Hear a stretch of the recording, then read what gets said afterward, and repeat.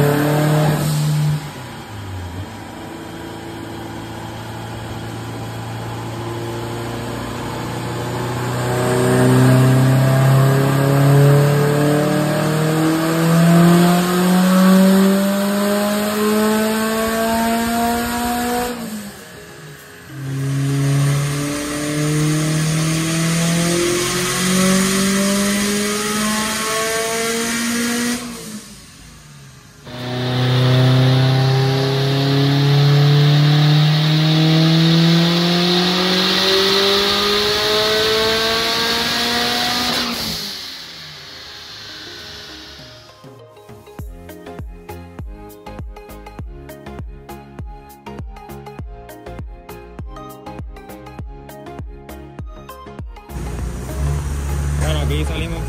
Primera prueba con la moteca en el dyno. Logramos unos 556 que aquí a 5007 aproximadamente ya tenemos 500 caballos. Mantenemos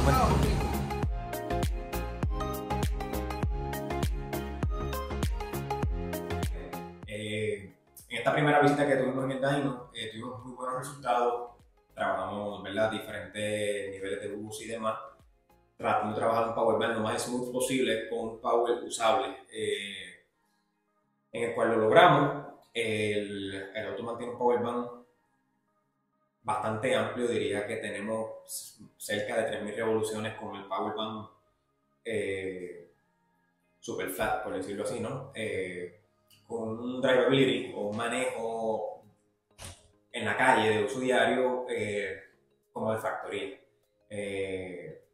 So, estamos contentos con los resultados que tuvimos con la Motec M150. Entendemos, según tenemos entendido, eh, es el primer Subaru, eh, al menos de los modernos eh, chasis VA 2015, con Motec en Puerto Rico.